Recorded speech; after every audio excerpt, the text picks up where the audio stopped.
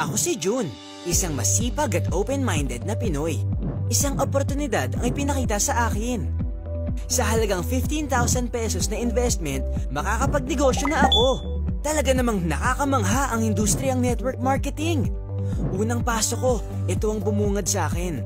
Sports car. Mahal na gadgets at mga naglalakihang paychecks. Grabe! Hindi ako makatulog. Dahil for the first time, nagkakaroon ako ng chance na matupad ang pangarap ko. Power, di ba? Sabi ni Upline, madali lang naman ang gagawin. Imbitahin ng kakilala at i-offer ang oportunidad sa kanila. Natakot lang ako nung sinabi ni Upline na kailangan kidnapin ng mga kakilala ko. Ah, ibang klaseng kidnap pala. Ito na. Next ko lahat ng barkada ko. Sabi ko, birthday ng kapatid ko. Ayun, nagalit ang tropa ko. Hindi pala nag-almusal para makarami sa birthday. Resulta, walang nag-pay in at nagalit ang ibang kaibigan ko sa akin. Ang masama, binlock pa ako sa Facebook. Okay lang yan. Rejection is part of it. Power! Dugong networker na yata to. Ang tatlong buwan kong paycheck, sinasabi ko one week ko lang kinita. Sabi ni Upline, fake it before you make it. Power! Dugong networker yata to. Sabi ni Upline, walang empleyadong yumaman.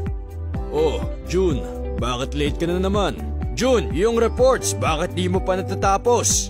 Tay, okay lang kahit wala ka sa birthday ko. Alam ko naman busy ka. Nang sinabi ko sa boss ko, I quit! Ayun, nag-resign ako sa trabaho. Time freedom, here I come! Power! It's training time! Walong oras na bakbakan, bawal ang acne. Ang dami kong natutunan. Power na power. Yayaman talaga ako dito. Pero wait, gutom na talaga ako. It's time to eat sa paborito kong restaurant. Sabi ni Upline, para maging makapalang bulsa, kailangan maging makapalang muka. Flyering, prospecting, sisiw na sisiw sa akin. Sabi ni Upline, hindi kaya yaman kung lagi kang negative. Kaya tuloy-tuloy lang. Invite lang ng invite. Ayaw? Next! Ayaw? Next. Darating din ang alas ko. Makalipas ang isang taon. Charan! Ito na ang profile picture ko sa Facebook. Pogi ba? Aaminin ko, hindi sa akin yan. Nakita ko lang nakapark sa may kanto namin. Sabi ni Upline, pag may gusto ka, claim it. Ang network ko, charan! Pero aaminin ko, sampu lang ang active dyan. Ang paycheck ko, surprise! Tumataging-ting na 50,000 pesos. Pero Xerox na lang yan. Hindi ko rin mawari na may ganito pala ako kalaking cheque. Saan nga ba ito napunta? Ganun na pala kalaki ang napunta sa panggalaw ko. Ubos. May utang pa. Sa kabila ng mga hype ko, nawalan ako ng maayos na trabaho. Iniiwasan ng mga kaibigan. Galit ang magulang at sarili kong pamilya sa isang pangarap na hanggang ngayon ay pangarap pa rin. Bakit nga ba ako pumasok sa networking? Gusto ko lang naman matupad ang pangarap ko. Hindi ko ginusto na magalit ang mga tao sa akin, lalo na ang aking pamilya, dahil para sa kanila naman ang ginagawa ko. Hindi ko ginusto na sumama ang tingin sa akin. Hindi ko ginusto na mawalan ng trabaho at mawalan ng steady source of income. Nakaka-burnout ang karanasan ko sa totoo lang. Pero dugong networker pa rin ako dahil alam ko sa tamang paraan, magagawa ko ang negosyong ito. Ang networking, hindi dapat mapagpanggap.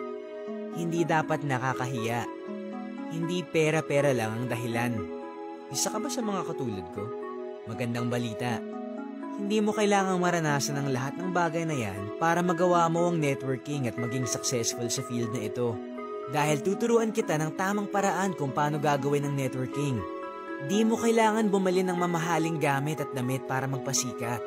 Di kailangan na marami kang kakilala. Di mo kailangan rekrutin ng mga kaibigan mo na bandang huli ay magagalit lang sa'yo. Di kailangan maubos ang laway mo sa kakahype. Di kailangan mag-resign sa trabaho. Di kailangan maghabol sa mga taong hindi naman interesado.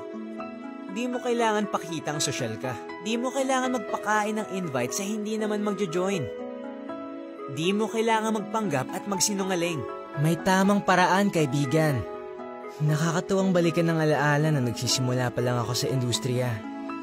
At nakakalungkot na hanggang ngayon, marami pa rin ang nakakaranas ng maling turo at pamamaraan sa network marketing. Ito ang nakapagpabago sa buhay ko. Ibabahagi ko sa iyo ang tamang paraan ng pagne-network.